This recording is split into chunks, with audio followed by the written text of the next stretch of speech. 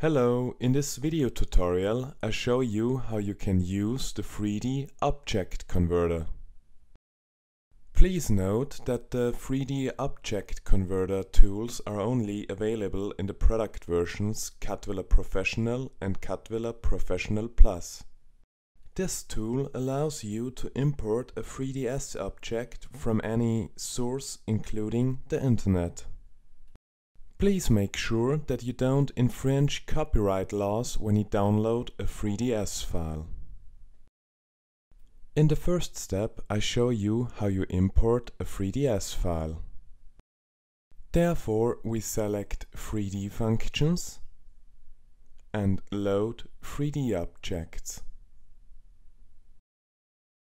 The 3D converter opens and we can select a 3ds file with a single left mouse click.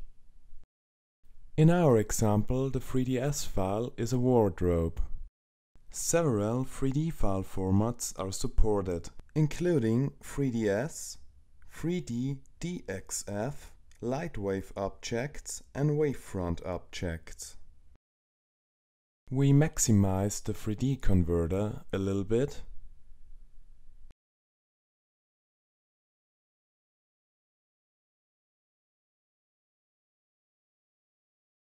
And now we can take a first look at our 3ds subject.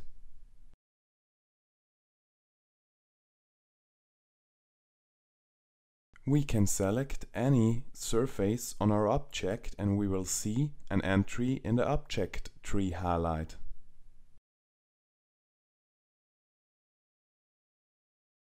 You can expand the entry of each component to see the material assigned to that surface. To edit the material, we make a double mouse click on it. Here we could select a color for our texture or we make a left mouse click into the field texture and we select a texture out of our browser. We select the texture wood and after it we press OK. At the field diffuse portion we enter 100% and at the field combine color and texture we enter 0%. After it we can press OK. Now most parts of the wardrobe are colored with our texture. That's because in this 3ds file most of the parts are connected with the part we just defined. That means if I change the color of this part, I will also change the color of the other parts. The surfaces which still have the old color were not connected with the surface we just defined. We can also change the color of these surfaces. Therefore, we select the surface. We open again the material menu. The material editor opens. We select the texture we set the diffuse portion to 100% and combine color and texture to 0%. We press OK. And now also this surface and the surface in the middle are defined with the wooden texture. We don't change the color of these two textures because we will delete them in the next step. In the next step, we will change our a little bit antique looking wardrobe to a new modern wardrobe.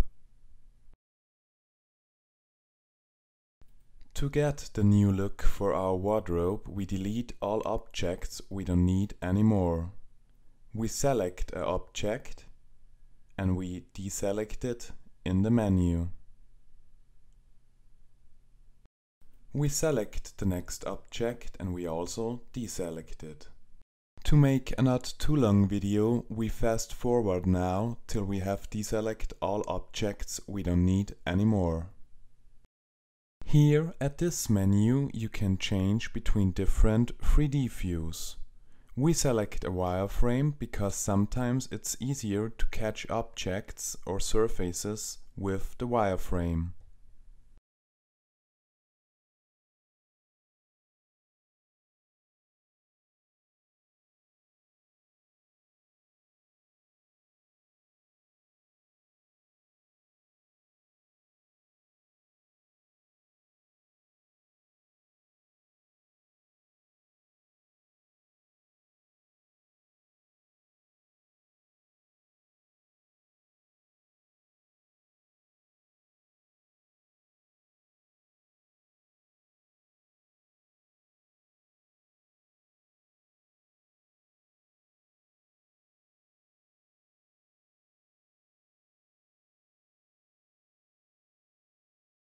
Now we have deleted all objects of our wardrobe we don't need anymore.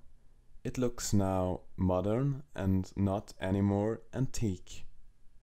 Now we change the properties of the glass because it's still a little bit too transparent. Therefore we select the glass surface and we open the material editor. We select a color for example silver for a silverette look and we press OK. We enter for the transparency 10% and we press OK.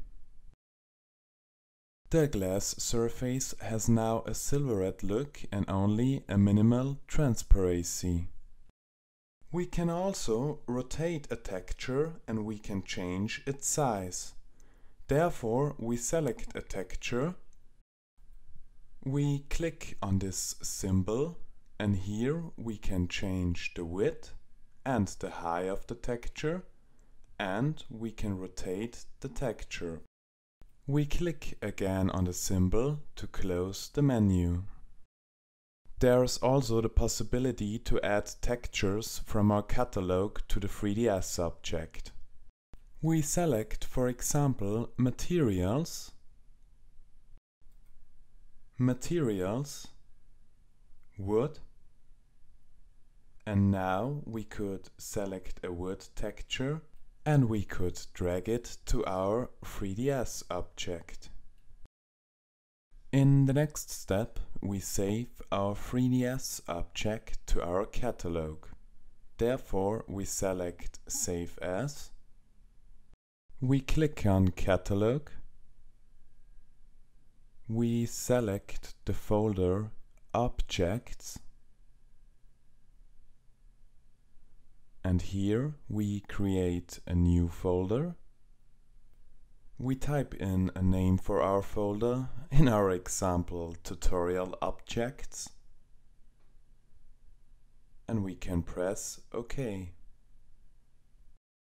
Now we select the tutorial objects folder we type in a name for our 3ds object, for example object 1,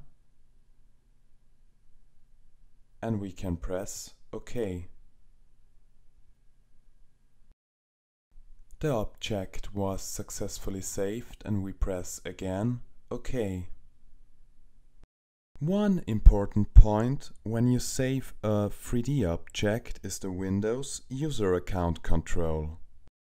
If the account control is activated, it's possible that your 3ds file gets saved to a temporary folder, not to the folder you have chosen for it.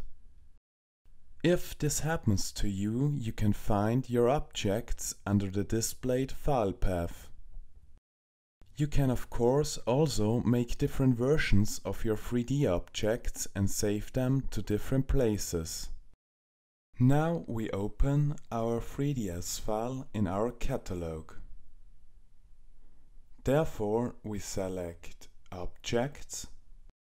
We open the folder Tutorial Objects and we select our wardrobe with a double mouse click on it.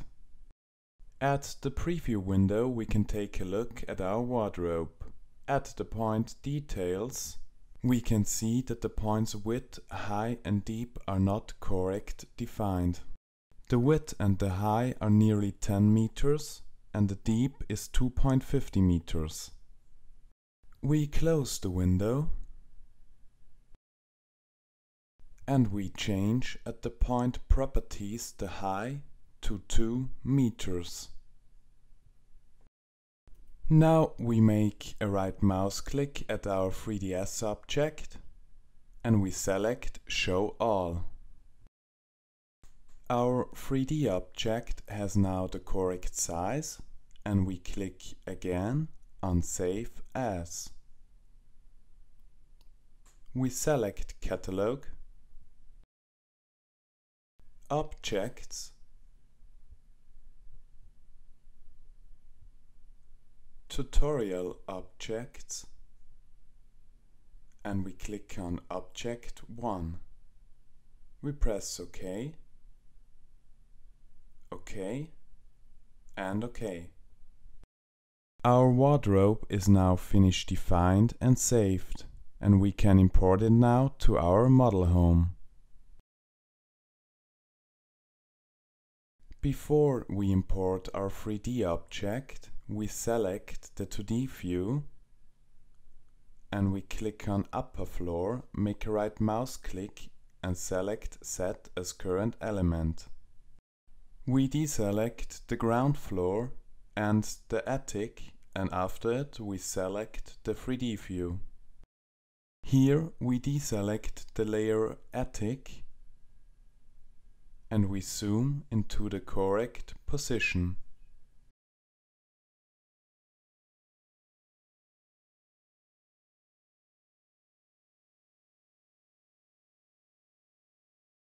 We wanna place our wardrobe here into this corner.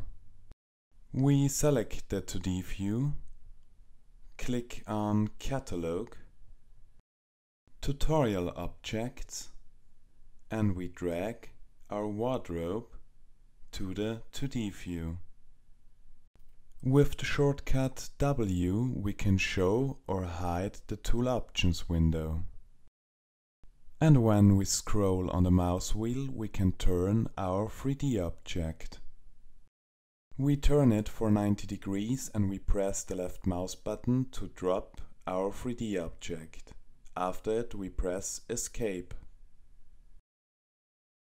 Now we zoom a little bit into the view. We select our object, click on Move with Reference Point this is our reference point and we move it into the corner. We press escape and now we can take a look at our 3D object imported into our model home. Thanks for watching. For more tutorials visit our website cadvilla.com.